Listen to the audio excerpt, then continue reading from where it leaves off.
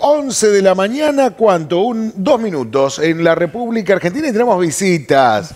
¿eh? Yo creo que sos la primera invitada al piso, Mirta, en el programa. Ah, sí, Ahora bueno, podemos qué traer bien. gente al estudio con el distanciamiento requerido, pero bienvenida. Muy buenos días, ¿Cómo Germán, a vos y a toda la audiencia. Bien, bien, acá iniciando el ciclo 2021. Bueno, eh, Mirta se llegó hasta aquí, es como, viste, hablábamos recién con Diego que se fue al tambo con el día de lluvia, ella se vino hasta aquí en un día de lluvia, la hicimos venir, este, para hablar un poquito del SENMA, ¿no? Del SENMA que también ya, ya empezaron con las inscri- inscripciones, Sí. queremos saber, porque el año pasado no, no- no tuvimos mucho contacto con Claro, ustedes, no. y queremos saber cómo... ¿Qué, qué experiencia han tenido? ¿Cómo han vivido con el adulto la, eh, las clases? Y bueno, ¿y cómo se preparan ahora para este nuevo ciclo? para este nuevo ciclo.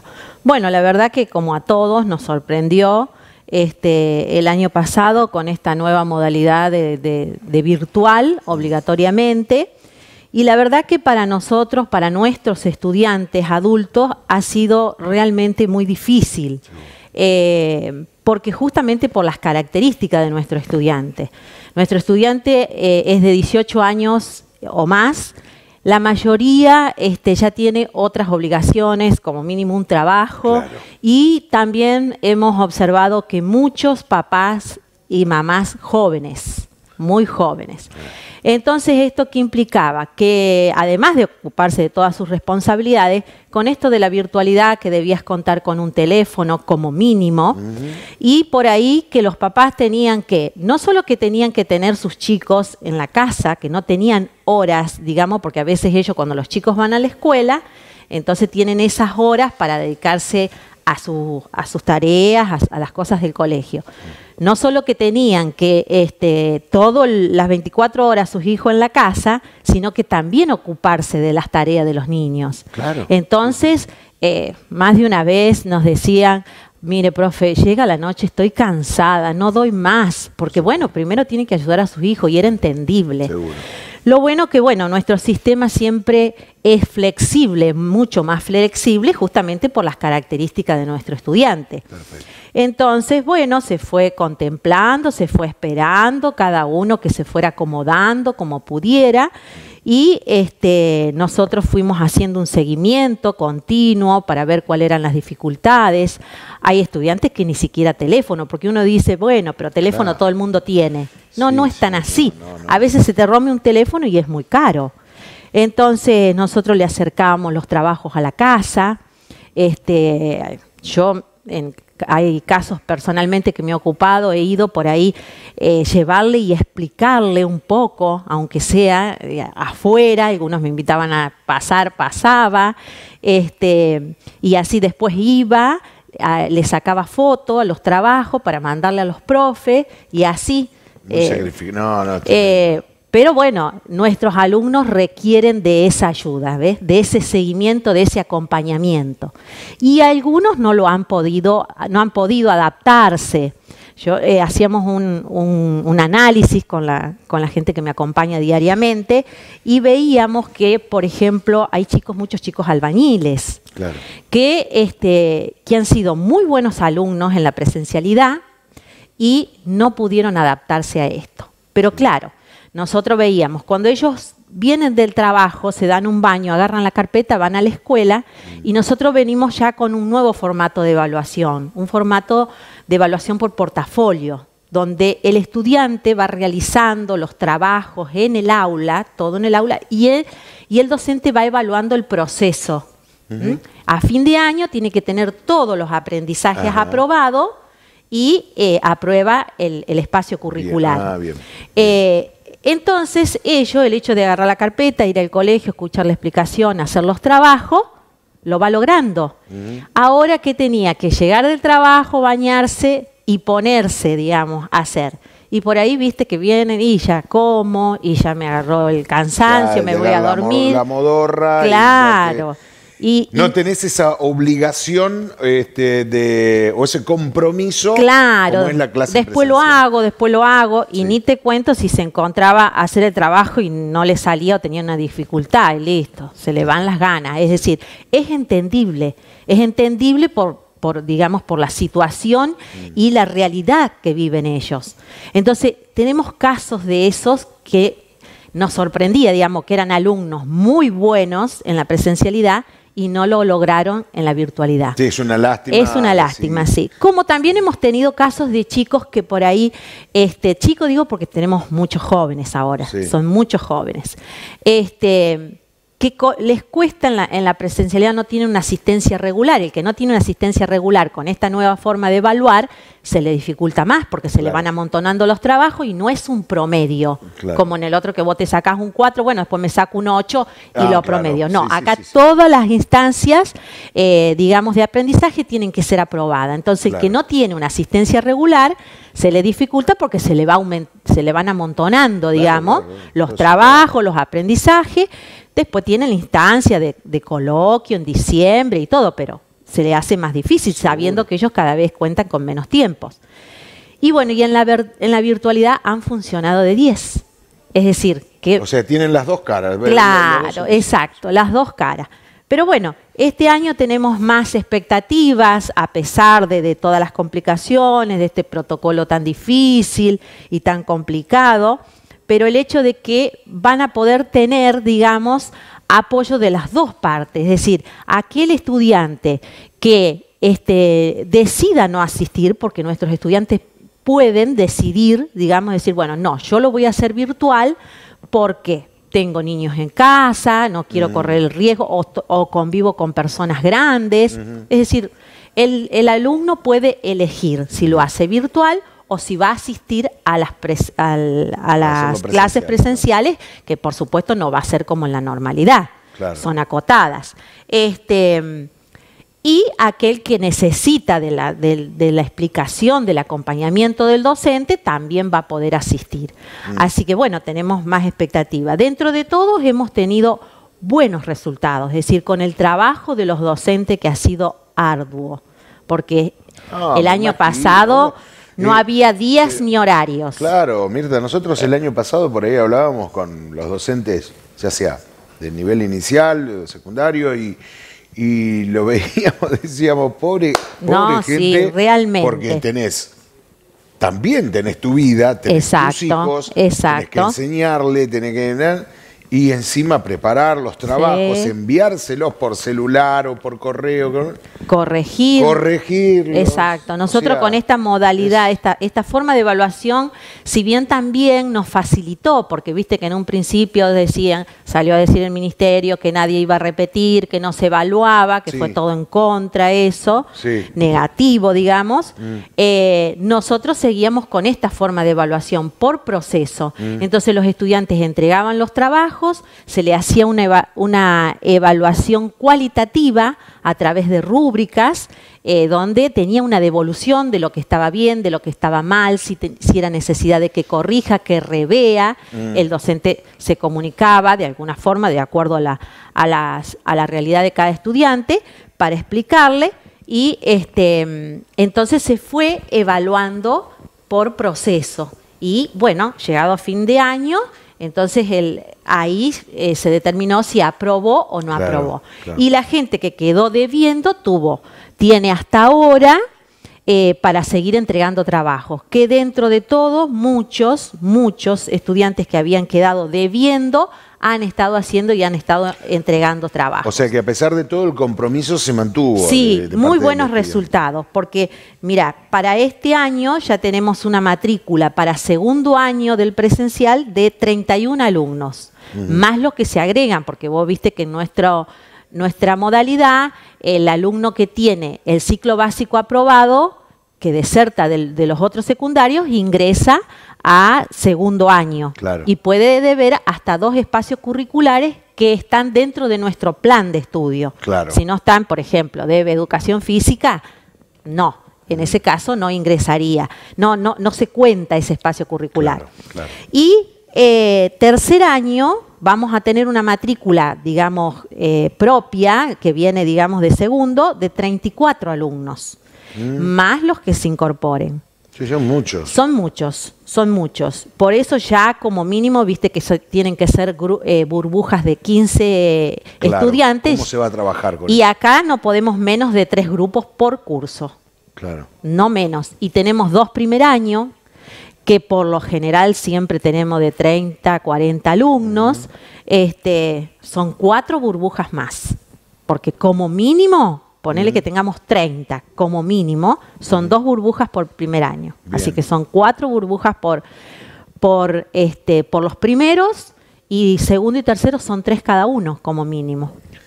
Eh, me decías antes de empezar la nota eh, que también tienen que, ya están arriba encima con las fechas y que por ahí hay, hay cosas y hay puntos que todavía tienen sus falencias, sus dudas y cómo enfrentamos todo esto. Sí, ¿no? sí, la verdad que- Hay, hay, en cuanto...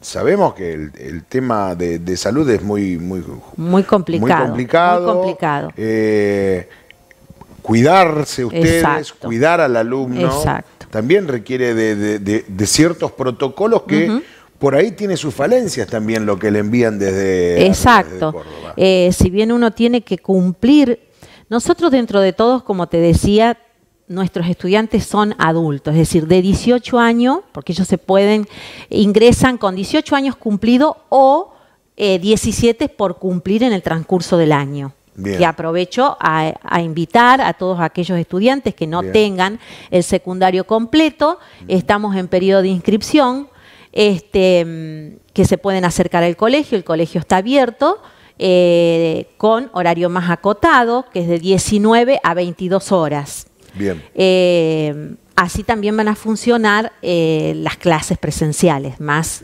acotado el, el horario. Bien. Pero bueno, dentro de todo son adultos. En marzo se hace el periodo de ambientación, que uno de los temas principales a trabajar es el protocolo. Justamente por eso, para el Bien. cuidado, ¿no es cierto? El cuidado de ellos, el cuidado nuestro y para que De su pueda familia en Exacto, sí. exacto. Y para que pueda seguir funcionando la escuela con esta oferta del- de algunas tutorías eh, presenciales, ¿m? que no sea Que- todo virtual como el año pasado, que- Seguro, que, seguro, dificulta seguro. a muchos a muchos Eh, estudiantes. eh, Mirta, el, a ver, eh, los alumnos, eh, se- a ver, decíamos, o hace un ratito hablábamos de que ya, ya no es como en otras épocas cuando el SENMA arrancó, que había mucha gente de, qué sé yo, de, de 40, Es- 35, ese, rango Sí. eh, de, de edades. eh, Sí. Por ahí tenemos algunos adultos, pero son los menos. Lo que pasa que con toda esta trayectoria que tiene el Segman, es el primero que se, se abrió en la zona, este, digamos, se va cubriendo la etapa del- de la demanda del adulto. Por ahí hay algunos, Claro. pero son los menos. Es decir, la mayoría que nosotros eh, receptamos son los estudiantes que desertan de los otros secundarios. Bueno, así todo. Eh, uno sabe que 18 años todavía es, es una edad, eh, a ver, lo vamos a decir como en el barrio, jodida de, de- Sí, de exacto, mantener, de, de arriar, como decía mi abuelo. Exacto. Este, pero igual se, se nota ese compromiso, esas ganas, esa, esa inquietud. y de- del estudio. son los que realmente siguen, porque aquel estudiante que realmente no tiene las cosas claras, nos ocurre que hay veces a esta edad desertan del otro colegio y los padres le dicen, bueno, anda al SEGMA a terminar. Claro. Hay veces que Van nos por obligación, Claro, a veces que vienen los padres a inscribirlo y nosotros decimos no. Mm. A esta edad tiene que venir él, tiene que tener la voluntad Mm. y realmente tener el objetivo de hacerlo, porque si no deserta también. Claro, Deserta claro. también. Por eso la mayor deserción las tenemos en los primeros años. Claro, claro que sí. Sí. Bueno, eh, entonces, los, eh, las inscripciones ya están abiertas. ¿Cómo viene? Ya lo vi ayer, en estos días pasé. Está hermoso, pintadito esa nueva parte eh, Ah, que le han sí, hecho ahí. nos están haciendo, eh, agrandando, digamos, la parte Sí. de dirección, porque en realidad nosotros somos dos instituciones juntas. Claro. Tenemos las dos ofertas educativas, el presencial y distancia, que también aprovecho a decir que también están las inscripciones y en el mismo horario, de 19 a 22 horas. Que bueno, en realidad ahora no hay tanta diferencia porque las dos van a tener tutorías presenciales y también virtualidad. Es decir, distancia ya tenía esta modalidad, pero bueno, ahora también el presencial tiene esta modalidad. La diferencia es en la, la diferencia está en el formato de evaluación, como te contaba anteriormente, es decir, que nosotros en el presencial tenemos un formato de por, portafolio y en cambio en distancia ellos tienen los módulos eh, donde tienen todos los apuntes de todos los espacios curriculares, eh, también si lo hace eh, normalmente, digamos, en, el tiempo que está destinado, serían tres años, igual. También ellos se les reconoce la trayectoria educativa, si tiene el ciclo básico completo, si tiene hasta cuarto año, igual que en el caso del presencial. Lo único que ellos van recibiendo tutorías de parte de los docentes, les van explicando, después van haciendo las actividades, presentan un trabajo práctico integrador, que eso diga, es lo que evalúa el profesor que está en condiciones de hacer el examen final y entonces después rinde el examen final y, así va pasando de un módulo a otro, va aprobando y va avanzando. Esa es la diferencia con distancia. Bien. Pero la edad es lo mismo a partir de los 18 años. Hay gente que, de, qué, lugar? ¿Son todos de Brickman los que forman parte? Sí, sí, son todos, eh, la mayoría de Brickman. Por ahí, con este movimiento, por ejemplo, nos ocurre que tenemos en presencial una, alumna de Morteros, porque se vino en ese momento, eh, después se volvió a Morteros y con esto de la virtualidad podías hacerlo de cualquier lado. Eh, teníamos un estudiante que vino, no recuerdo bien de dónde, me parece que del tío, y después, faltaba poco, para finalizar el año se fue a Rollito, ahora ya tenemos que hacerle el pase. Pero terminó con nosotros, porque ese tema de la virtualidad terminó bien. continuó con Exacto, pero si no, son todos de Brickman. Nosotros tenemos sede mm. por toda la zona. Tenemos en, en, Viñón, en Sever, en Paquita, en Porteña y en Freire tenemos un presencial un anexo presencial. Y también tenemos en Prosperidad y Quebracho Errado, que se nos queda más alejado. Qué bárbaro. Pero ha crecido, ¿no? Sí, así que prácticamente son genuinos de Brickman porque en todos lados hay. En todos lados hay, exacto. Sí. Este, yo formé parte del CENMA, fui alumno del CENMA. Y bueno, lo que genera el entusiasmo que uno, bueno, venía de no haber desertado de otro colegio, pero que se debían materias y bueno, que uno queda, le queda ese magún adentro, como que le queda algo inconcluso y que tiene que terminarlo, porque es una etapa de la vida que hay que terminarlo para el futuro y para el bien del personal. Exacto. El estudio aprobado. Además que hoy en día ya es obligatorio el secundario. Antes era hasta tercer año. Ahora no, el secundario completo es obligatorio. Y aprovecho para decir que también nosotros, por ejemplo, es un gran apoyo eh, la empresa piamontesa.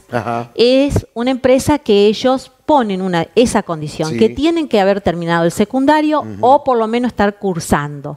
Entonces, es hoy en día un joven que no va a estudiar, aspira a, un a, lograr un puesto en piamontesa, ¿no es cierto? Sabemos que es así. Entonces, muchos de, los estudiantes van por eso, es decir, lo tienen claro, es decir, que hoy el secundario es una necesidad, que tienen que terminarlo. Y bueno, eh, eh, este criterio de esta empresa nos ayuda, digamos, en ese sentido, es de una gran ayuda. Además que... Eh, este, también exacto y estimula a los empleados porque los empleados que lo deciden hacer por distancia la empresa le facilita los módulos le facilita para que pueda cursar. Inclusive este eh, no le puede cambiar el horario a todo el personal mm. no es cierto porque hay gente que que eh, trabaja de noche. Claro. Entonces, eh, aparte que tampoco por ahí va a ser todo un movimiento y después el alumno por ahí deja, porque también es una realidad.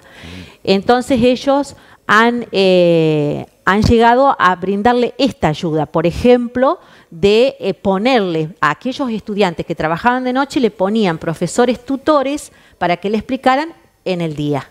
Mm, Así que tienen un gran apoyo de la empresa. sí. Eso no lo sabía. Sí, sí.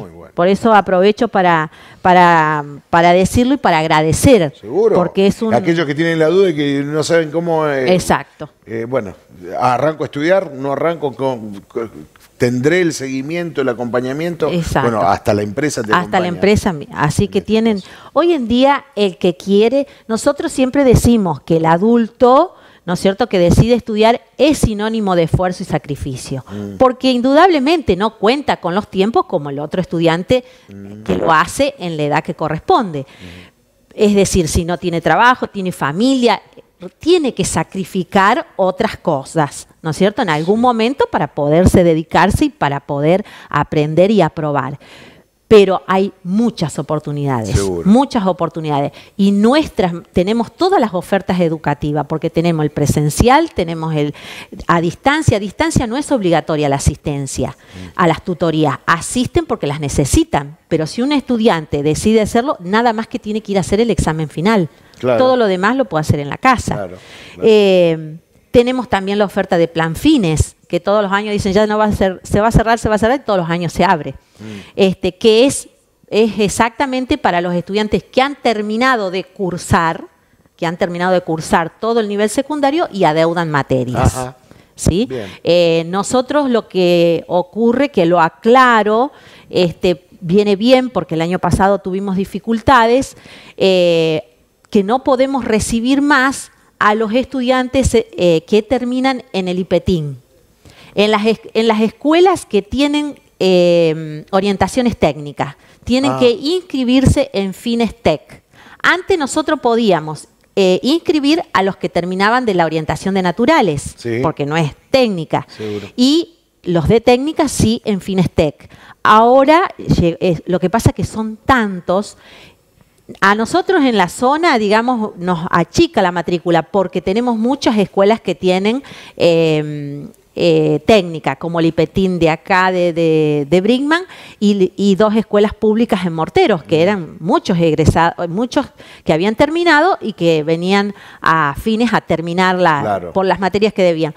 Pero en, la, en lo que es zona de capital y en otros lugares, eh, es muchísima la gente para fines solo y muy pocos para fines tech. Ah, Entonces, como para, para dividir un poco, es que han tomado esa decisión. Entonces, yo vuelvo a aclarar, porque el año pasado no nos llegó la información a tiempo. Los chicos nos preguntaban, ¿y cuándo empiezan fines? Ya les vamos a avisar. Tomábamos el número de contacto, después les avisábamos. Resulta que Finestec inscribe antes, termina, empezamos nosotros. Después ahí nos dicen que nosotros no podíamos recibir de los IPETIN, IPETIN, IPEMIT, todos esos colegios que tienen orientaciones técnicas. Entonces quedó el chico en el medio, mm. digamos, no era culpa ni de él ni de nosotros. Nosotros no recibimos la información hasta que no se nos autorizó inscribir y mm. ya había terminado para inscribirse en Finestec. Así que ahora aprovecho a aclarar a todo aquel estudiante egresado del IPETIN no puede hacer fines con nosotros. Tiene que estar eh, pendiente de cuando se abren las inscripciones de fines TEC. Mirta, te agradezco muchísimo por acercarte acá, comentarlo, sacar todas las dudas y bueno, incentivar también, darle a aquellos que están con la duda eh, incentivar de cómo es el seguimiento del alumno y cómo se lo, se lo incentiva, cómo se trabaja con él y los beneficios además que puede llegar a obtener ¿eh? con todo Exacto, es decir que hay que tener ganas. Ganas. El que realmente eh, tiene voluntad lo logra, porque oportunidades tiene muchísimas, muchísimas. El sistema es muy flexible para atender la necesidad de cada estudiante. Así que tienen que quererlo nomás. Bueno, te agradezco, Germán. Eh, porque también esto nos sirve a nosotros para comentar sobre las inscripciones. Las inscripciones se hicieron unas preinscripciones el año pasado para todos los colegios con este tema de la virtualidad, tenían que hacerlo por el CIDI.